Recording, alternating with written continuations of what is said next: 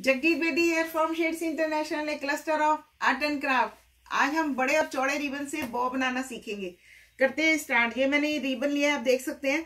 थोड़ा सा किनारा छोड़कर मैं इसे अपनी दो फिंगर के ऊपर इस तरह से लपेटूँगी। ये देखिए, दूसरी बार लपेटते हुए मैंने इसको साइड में से अंदर से निकाल देना है इस तरह से। अंदर से निकालते हुए इसी रिबन से मैं नॉट लगाऊँगी। इसी रिबन से मैं इसको ऐसे करते हुए नॉट लगाऊँगी और इसे बाहर कर लूँगी। रिबन को सीधा रखना है। इस तरह से, नहीं तो हमें फिर बाद में सीधा करना पड़ता है। तो ये मैंने इस तरह से करा और ये हमारी इस तरह से बो तैयार हो गई। इसे फिंगर में से निकाल दे। तो आप देख सकते हैं, ये हमारी बो तैयार हो गई। कितनी सुंदर बो तैयार हुई है। इसके ऊपर जरा सा मैं ग्लू लगाकर ये नग लगा दूँगी यहाँ पर। नग लगा दो या मोती लगा दो या कुछ भी लगा दो। अगर आपको इतना बड़ा हिस्सा नहीं चाहिए नीचे बो का तो आप इसे काट सकते हैं। अगर आपको इतना बड़ा हिस्सा नहीं चाहिए तो आप इसे काट सकते हैं। ये मैंने जल्दी जल्दी में बनाई है तो थोड़ी आप इसको सीधा कर लीजिएगा। रिबन को, रिबन थोड़ा सा टेढ़ा है। टेढ़ा हो रहा है, घूम रहा है। इस तरह से।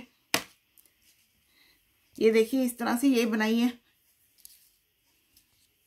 अब मैं आपको इतने बड़े रिबन से, इतने चौड़े रिबन से बनाना सिखाती हूँ। ये मैंने थोड़ा सा छोड़कर यहाँ अपनी दो फिंगर के ऊपर उसी तरह से लपेटा है, जैसे वो लपेटा था।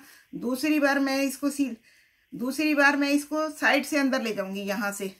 ये साइड से मैं अंदर ले जाऊँगी, आप देख सकते हैं यहाँ से। यहाँ से अंदर ले आई। इसको सीधा करना है मैंने, सीधा रखना है। सीधा करते हुए मैंने इसी को नॉट लगानी है, इस तरह से। बड़ा आसान है लगाना, ये देखिए। इसको सीधा रखना है, नहीं तो हमें इसको सीधा करना पड़ेगा यहाँ पर। रिबन को आप सीधा रखेंगे तो बहुत सुंदर इसकी लुक भी आएगी। और आपको बार बार सीधा भी नहीं करना पड़ेगा। बस यही इसको ध्यान रखना है कि आपने नॉट लगाते समय इस रिबन को सीधा रखना है। तो देखिए, ये सीधा रख के आप इसे खींच दें। इस तरह से नॉट कसी कर दें और फिर इसे बाहर निकाल दें। तो आप देख सकते हैं ये कितनी सुंदर बना है हमारा। कितना सुंदर बो बना है। इसमें कुछ ज़्यादा नहीं है। आपने बस इसको ध्यान से रखते हुए सीधे करके इसको करना है और यहाँ पर आप कोई भी चीज़ लगा सकते हैं। यहाँ पर आपने ग्लू लगाई और शीशा भी लगा सकते हैं। ये भी लगा सकते हैं, नग भी लगा सकते हैं, मोती भी लगा सकते हैं, कुछ भी लगा सकते हैं। तो आप देखिए, इस तरह से ये मैंने वाइट मोती लगाया हुआ है। देखिए तो आप इसी तरह से दो फिंगर के ऊपर आपने एक बार लेना है, दूसरी बार करते हुए इसके अंदर से निकालना है और यहाँ से आकर नॉट लगा देनी है। नॉट लगाकर थोड़ा सा हल्का सा खींचते हुए बस आपका वो बन गया।